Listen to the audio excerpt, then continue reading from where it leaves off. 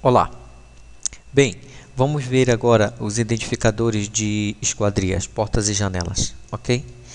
Bem, quando você insere uma porta ou uma janela, vamos aqui no exemplo da janela, por exemplo, ele automaticamente vem a identificação, tá? E quando não vier? Quando não vier, por exemplo, nós, quando, é, geralmente acontece quando não vem identificação, quando você insere num, num corte ou numa elevação, ou no 3D e planta baixa não aparece, como essa aqui, por exemplo. Ou então, você sem querer, opa, ups, ou você sem querer deletou, pronto, deletei. Como é que insere? Quando não tem. E a gente vai ver como é que edita. Quando não tem, você vem bem aqui, olha, identificador de categoria, tá? Aqui, olha, em anotar, identificador de categoria. Aí você aproxima e clica nele e coloca lá, tá?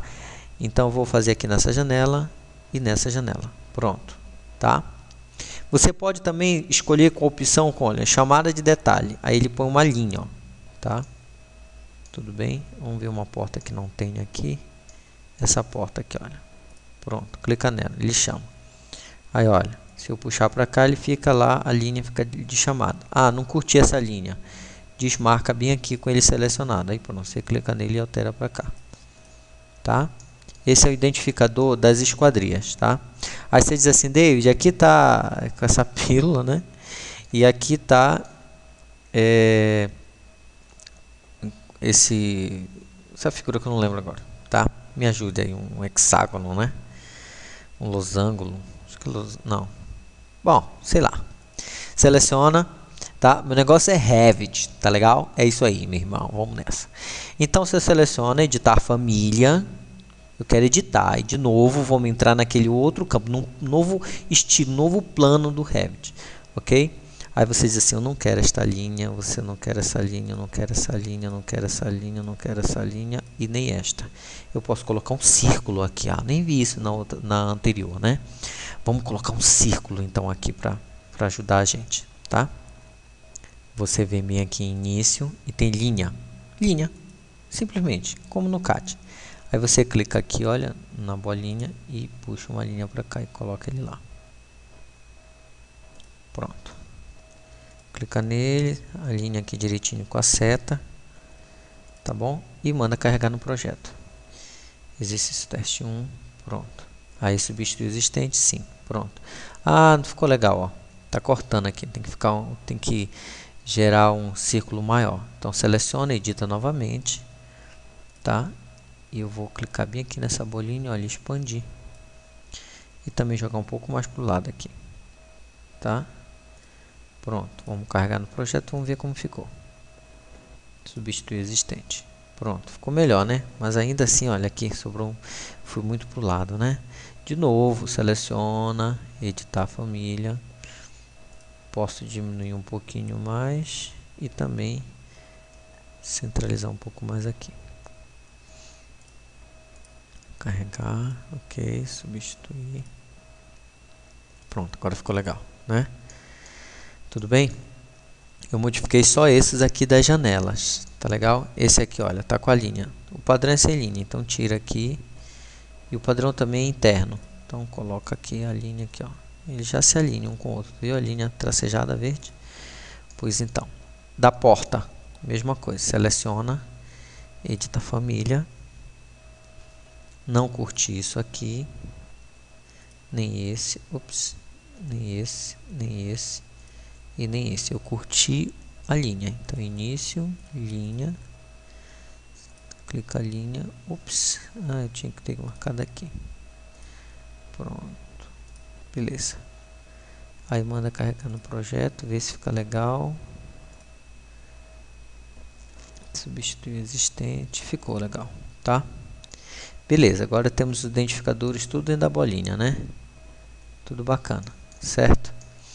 É... Aí vamos ver na sequência. É, é lógico que cada identificação aqui, olha, P1, aqui nós vamos alterar. Ó, eu quero J1 por esse tipo de janela. Ele pergunta vai substituir as outras, certo? E esse aqui vai ser a J2. Basta você clicar dentro, ó, ele abre o ponto de edição, J2. Pronto. Tá? Beleza? esse é o identificador das esquadrias, tá legal? Linkado esse identificador da esquadrilha com a tabela, certo? Ora, vamos lá. Eu vou aqui, vou, vou aqui em vista, tem que ser rapidinho. Tabelas, é, tabelas e quantidades. Clicou aqui. Aí eu quero que o que que eu quero? Quero janela. Aí vamos lá, janela, janela, janela, janelas. OK. Quem que eu quero jogar para cá, tá? Eu quero jogar a o, o tipo, né? Que aquele elemento é o tipo. É o tipo mesmo. Vamos ver aqui. Dá OK. Não, não é o tipo, tá? Então seleciono, vou aqui nas propriedades, campos. E deu tilt. Espera aí. Pronto, voltou. Ali é o tipo ou é o número, modelo? Acho que é o modelo. Pronto, ok. Vamos ver se é o modelo. Não, não é o modelo. Tem que aparecer J1, J2, J3. Eu vou digitar o campo novamente. É o a marca. Vamos ver se é a marca. Um deles eu tenho que acertar. Não é também a marca. a gente está falando de janela, né? Então, quando você não sabe, que nem eu aqui, você seleciona e põe todo mundo depois tira, mas dá um trabalho. Vamos ver aqui: descrição, código, largura, marca do tipo. Acho que é marca do tipo. Vamos ver. Pronto, é marca do tipo que eu estava procurando, tá? Então o que, que você vai fazer? Eu vou pegar a marca do tipo e vou acrescentar um outro aqui também que eu tenho certeza qual é, que é o comentário. Tá? É, comentários do tipo. Pronto. Ok. Eu vou tirar os outros. Eu só quero a marca do tipo, que é, ou seja, janela 1, janela 2, janela 3, janela 4. Aí eu vou colocar aqui, em vez de marca de tipo, modelo. Tá? A descrição desse modelo J2 é janela de duas folhas de, opa, de alumínio, por exemplo. Pronto, ele, tu, isso vai se aplicar a todos que estiver usando J2. J1, janela de uma folha madeira. Se aplica a todos. Olha, ele repete a todos. Tá legal? Aí, o que, que eu quero também aqui? Propriedades. Opa, vou editar aqui. Eu quero altura, altura, que mais? Altura do peitoril. É interessante, seria a altura do peitoril. Contador, contador também é importante. Quero saber quantidades. Código montável, descrição da montagem, família, fabricante, largura, nota, nível, linha de classe, operação, tipo de estrutura. Então,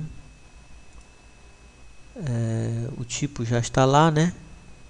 Quem é que eu não quero daqui? Eu não quero modelo, então remove. Olha como é que faz. Marca também não me interessa. Marca do tipo interessa, que é o modelo. Comentários do tipo, altura do peitoril. O contador. O contador vai lá para cima. Clicar aqui, ele vai lá para cima. O tipo, já está lá a marca do tipo, que é o JJ não sei o que, comentários do tipo, altura do peitoril. Beleza. Então eu dou OK. Pronto. Olha como ela fica bonitinha.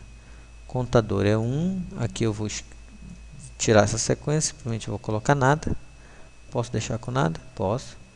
O tipo, esse tipo aqui já tem as dimensões dela, a dimensão podia entrar aqui o modelo já está dando-se a altura do peitoril para cada uma delas. Posso alterar aqui, David? Ah, meu amigo, pior que pode, ó. Direto na tabela ele já vai alterar lá. Tá legal? Beleza. Aí o que, que eu faço com essa tabela? Volto aqui na minha folha e vou inserir essa tabela bem aqui assim, olha. Pronto, ó. vou aproximar aqui. Vou clicar nela, eu vou abrir esse cara aqui, ó altura do peitoril. Vou abrir mais para cá, ó. Eu tenho a minha tabela de esquadrias já na minha folha de impressão. Puxo ele para cá porque me interessa a quantidade, o tipo também. Posso agrupar isso aqui, nós vamos ver mais à frente. Esse campo aqui geralmente ele é maior, né? Que é o da descrição e a altura do peitoril também não precisa ter um tamanho muito grande. Pronto, olha lá, isso já está na minha folha de impressão. A folha, a, a, a, o modelo J2, janela de duas folhas, alumínio com peitoril de 1. Quais dimensões? 90 por 120, tá? Esse cara aqui devia entrar aqui, né? Era, é isso aí. Então, modificar ele, né? Eu volto aqui para minha tabela de janelas. Volto aqui para a opção editar o campus, né? De novo dei um tilt. Passou o tilt. Esse tipo aqui, ó, eu vou descer ele. Ele vai ficar aqui antes da altura do peitoril, ok. Pronto, olha lá que beleza. Vou diminuir mais ainda aqui. Pronto. Aí, é, volto lá na minha prancha, olha, já está configurado. Olha lá que beleza modelo, vou diminuir um pouquinho mais aqui. Altura do peitoril, vou abrir mais espaço aqui. Olha lá. Tabela de janela, já está tudo aqui. À medida que você for colocando lá, depois nós vamos fazer uma tabela de porta, uma tabela de, de materiais, tá? Volto lá para planta início. Preocupação de fazer rápido, não pode ter aula muito, muito chata, cansativa e tal. Beleza? Então J1, J1, J1, a única J2 é esta aqui, de uma folha. Eu errei, né? Depois altera lá, é super fácil. Tá bom? Identificadores de esquadria. É isso aí.